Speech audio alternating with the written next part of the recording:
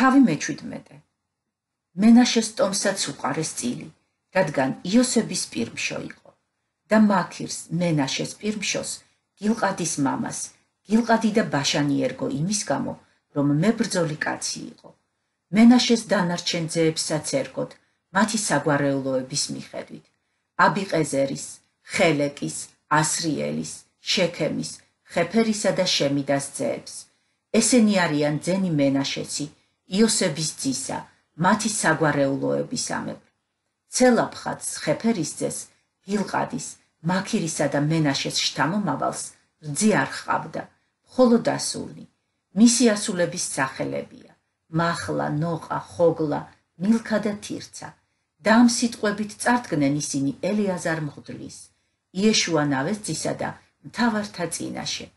უფალმა უბრძანა მოსეს რომ სამკვიდრებელი მოეცა ჩვენთვის ძმათა შორის და მიეცათ მათ უფლის ბრძანებით სამკვიდრებელი მათი მამის ძმებს შორის.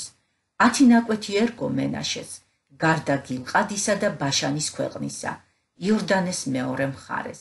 რადგან მენაშეს ასულებმა ძეთაშორის მიიღეს სამკვიდრო, მენაშეს დანარჩენ ძეებს კი გილყადის ქვეყანა ერგოთ.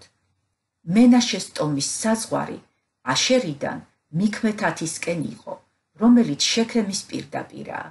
მარჯვნივ გრძელდებოდა იქიდან, ყენ თაფუახის მკვიდრთაკენ.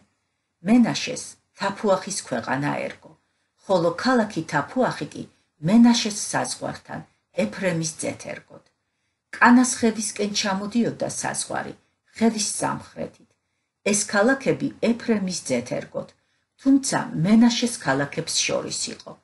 მენაშეს სამკვიდრებლის საზღვარი ხევის ჩრდილოეთ მხარეს გასდევდა და ზღვასთან მთავრდებოდა. სამხრეთი ეფრემის იყო, ჩრდილოეთი კი მენაშესი. ზღვა იყო მათი საზღვარი. ჩრდილოეთით აშერს ემიჯნებოდნენ, ხოლო აღმოსავლეთით ისაქარს. მენაშეს სამკვიდრებელი ისაქარამდე და აშერამდე იყო. ბეთშიანი და მისი შემოგარენი, იბლეყამი და მისი შემოგარენი, დორის, ყენდორის, თანაქისა და მეგიდოს მკვიდრნი, თავთავისი შემოგარენით, ასევე ნაფეთის სამი მხარე.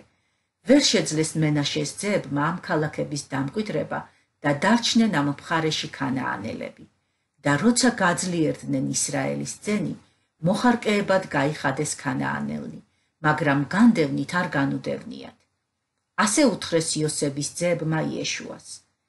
რატომ მოგვეცი ერთი წელი სამკვიდრო და მხოლოდ ერთი ნაკვეთი, როცა მრავალრიცხოვანი ხალხი ვართ, რადგან ასე გვაკურთხა უფალმა.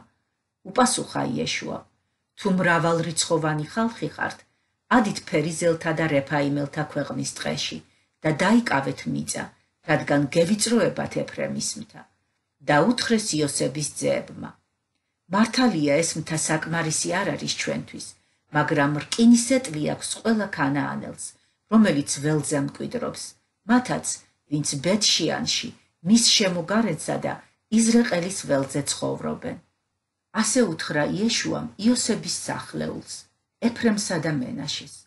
მრავალრიცხოვანი ხალხი ხარ და დიდი ძალა გაქვს, არ უნდა გქონდეს ერთი წილი.